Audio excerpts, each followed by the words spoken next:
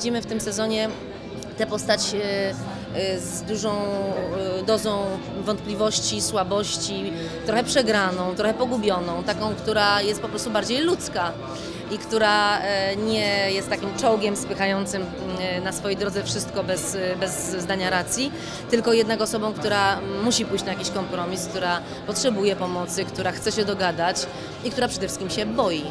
A tego w pierwszym sezonie w ogóle nie widzieliśmy. Czas na drugą rundę. To to może ci grozić dożywocie. Senior nie chce rozgłosu. Musiałem się od ciebie odciąć. Boję się. Jest winny? Wszystkie dowody na to wskazują. Będzie z nim problem? Piłka jest nieobliczalna, nie można jej ufać. Nie przyzna się. To idź w niepoczytalność. Pani mecenas nie ma pojęcia, w co się wpakowała. Magdalena Cielecka. Chyłka kasacja.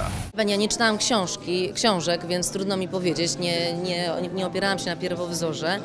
E, Ale oczywiście y, no, format y, filmu czy serialu telewizyjnego y, wymaga adaptacji książki do scen na, na scenariusz, a potem nawet y, y, scenariusz jest je, je, jakąś tam, jakimś tam punktem wyjścia do realizacji tego, co, co tworzymy. Oczywiście dla mnie mniej e, istotne jest to, jak to się będzie rozkładało w detalach, czy to będzie na, i, i na ile to będzie podobne, czy wierne książce, czy nie.